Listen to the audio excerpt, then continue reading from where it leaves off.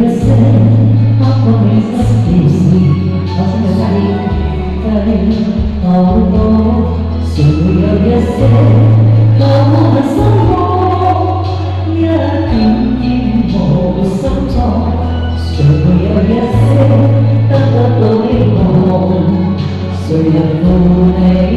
không bỏ lỡ những video hấp dẫn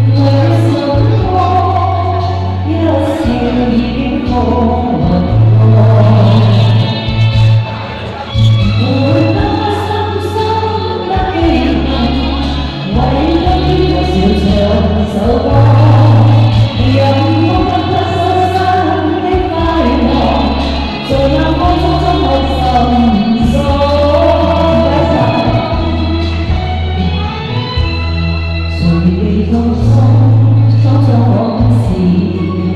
谁人是对是